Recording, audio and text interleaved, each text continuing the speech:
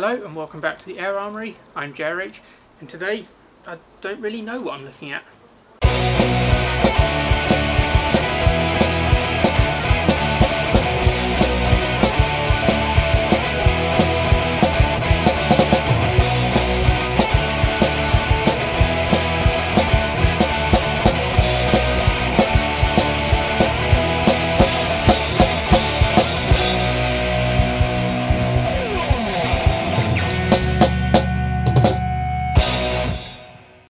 This is a rather old air rifle, or at least most of one, because as you can see it is missing its stock. Now it's unbranded and it is in very bad condition. Now this was given to me by a friend of mine named Ben. He messaged me saying he had an old air rifle he didn't want anymore and did I want it. So naturally I said yes straight away, albeit maybe a bit prematurely, because only after that did I then message him asking for some more details and his response was 177 break barrel, spring powered, approximately 1 million years old, no stock, it does work, but old as which he assures me is a technical term. And I tell you what, he wasn't far wrong. Now, whilst I'm not 100% sure, I suspect that this may be a BSA cadet, but I will explain that a bit more later on. Uh, but for now, let's take a closer look.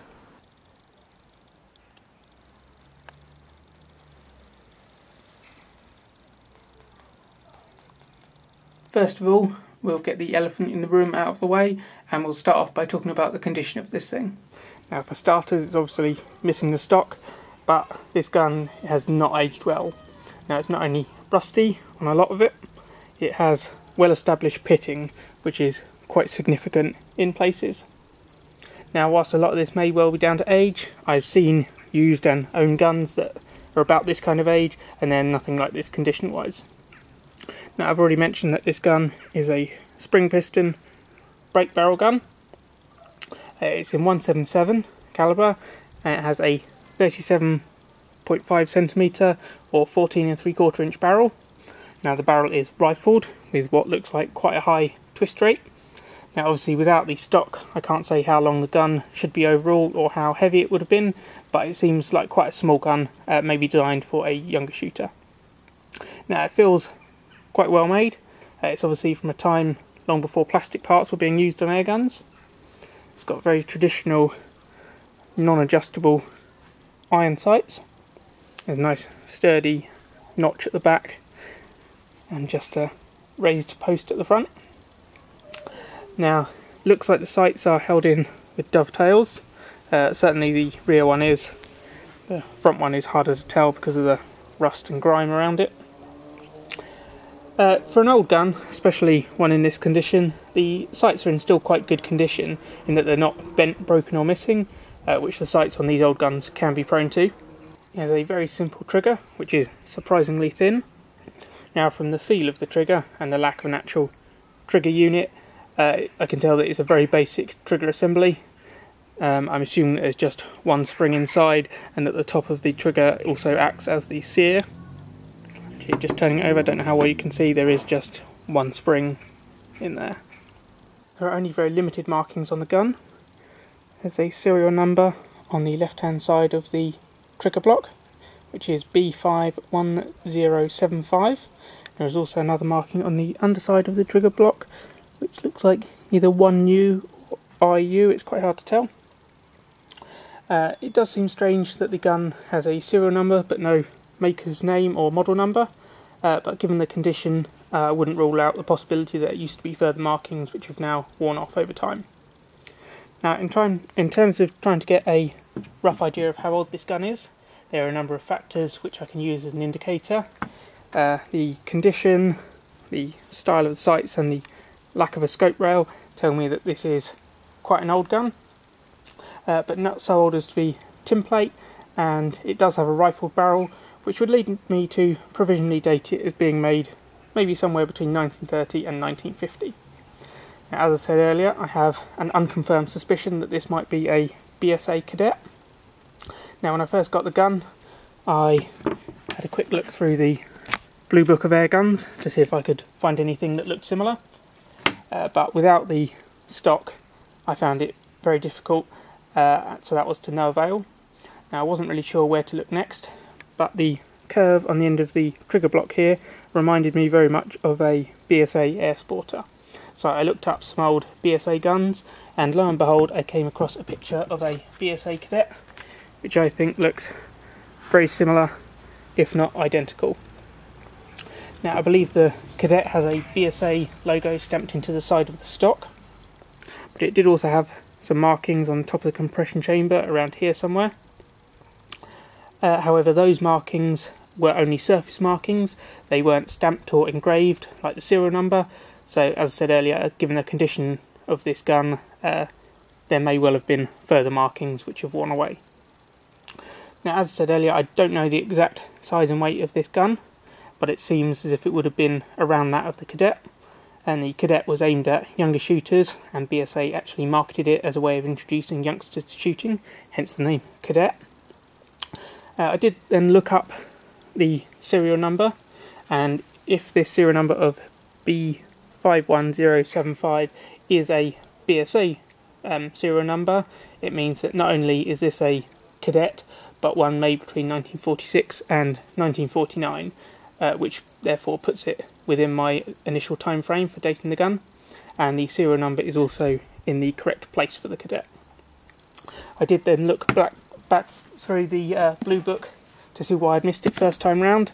But as you can see, the cadet doesn't actually have a photo in the blue book. Whilst most of my reasoning for believing this to be a BSA cadet is largely circumstantial, albeit quite compelling, I have no definitive proof, so if anyone has any information to confirm it or suggest anything else it could be, uh, please let me know in the comments below. Now with regard to shooting this thing, I've been told that it uh, does work. Now I've had it for a few months now, but I've never actually tried firing it, but I couldn't in good conscience make a video about a gun without doing some shooting, so I will give it a go. Now I'm not going to bother with an accuracy test as it would be pointless. Uh, without the stock, even the most accurate air rifle in the world would perform badly as you wouldn't be able to hold it right, but I can still do some test firing and maybe see what power it gets over the chronograph. Uh, because of the missing stock, I'm not really sure where to hold it and I don't want to get my fingers caught in it or anything, so I'm actually going to fire it remotely. So what I've done is attach the gun to two bits of wood with a Jubilee clip at the back at the front I couldn't find a Jubilee clip small enough, so that's just on the cable tie. And then that is going to be clamped into this um, portable workbench.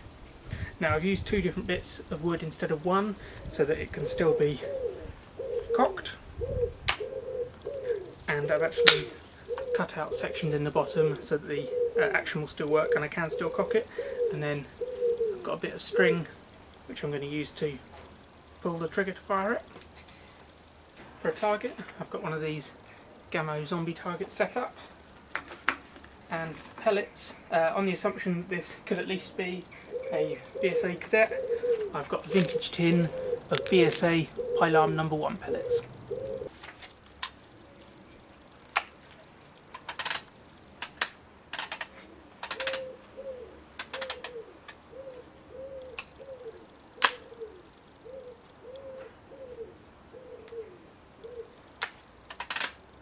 Okay, is stopping this from cocking.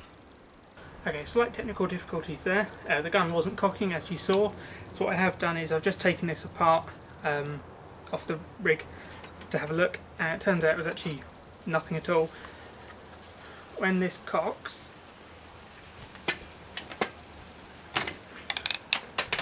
it was stopping and it looks like you might have to depress the trigger slightly for it to cock in like that. Uh, I assume maybe the original stock uh, pushed the trigger back very slightly. Okay, so this is a loaded gun now, so I'm doing it very carefully. Okay, we're secure. Let's have a test fire.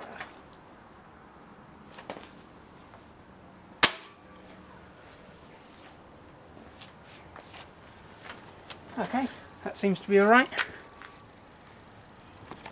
Nice clean hole in the zombie's face. So what I will do actually is set the chronograph up and see what kind of power I get from it.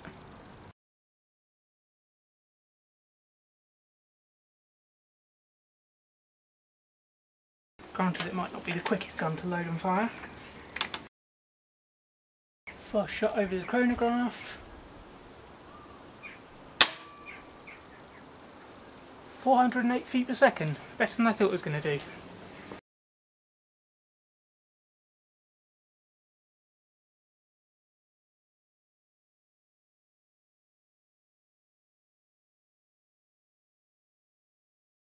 Here I have my chronograph test sheet. Now I've already done all of my calculations and over those 10 recorded shots this gun had an average velocity of 444.46 feet per second uh, with a spread of 105.3 feet per second. Now it's quite a large margin but this gun probably hasn't been fired for a good number of years uh, so I'm sure that a period of heavier use would help it to settle down and make it a bit more consistent. Those vintage BSA Pylarm number 1 pellets that we're using uh, are 8.2 grain, so using the average velocity of 444.46 feet per second, that gives this gun a power output of 3.6 foot-pounds. That's obviously not massive, but maybe slightly more than I had been anticipating. Now I wasn't really sure what to do with this gun after the video, uh, it's not going to be cost effective to restore it, uh, I thought I'd probably just chuck it in the back of the gun safe at the time being and then maybe end up harvesting it for parts at some point in the future. Uh, but you know what, let's do that now so that I can pull it apart on camera uh, to show you inside it.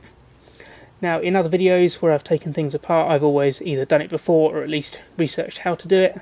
Um, that's not the case here though, I've never taken this apart but it looks like it should be nice and simple and I don't really need to worry about it going back together. So let me just grab some tools. I've got a pin hammer, punches, screwdrivers and a rag. Now ordinarily I would use a special spring compression tool when taking apart a spring piston gun but as this gun has got such a low power and seemingly very little uh, pre-compression I should be safe to do it without but I will wear gloves just for the first part. Now disassembly should be straightforward as the trigger block is separate and behind the compression chamber. Uh, so I don't have to worry about removing a trigger assembly in order to get the piston out or anything. And the fact that it is back here, see the dividing line there, uh, I believe this pin is literally just through the trigger rather than through any kind of internal sleeve there, so the gun should just unscrew. I'm just holding it very tightly here to stop it flying apart.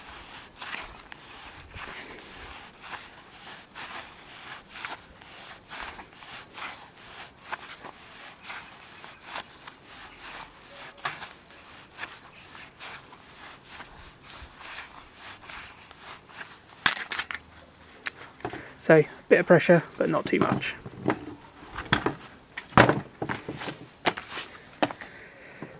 So here is the trigger.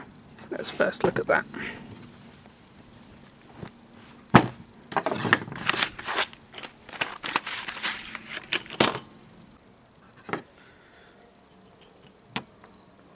I'm then just going to use a punch to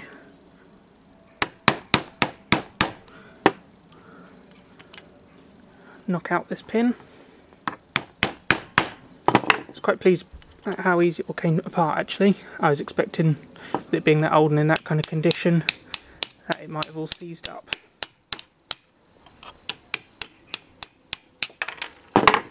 There goes that pin. The trigger can come out.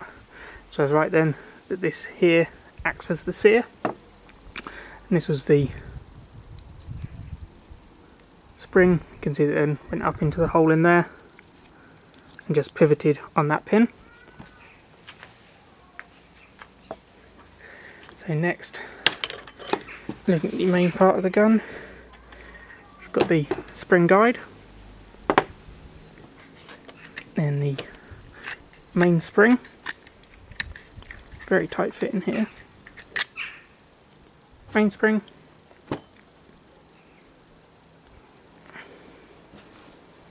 And then just clean my hands. The piston's a tiny bit stuck, so I shall lever it out with a screwdriver, or at least try to. It doesn't want to come out.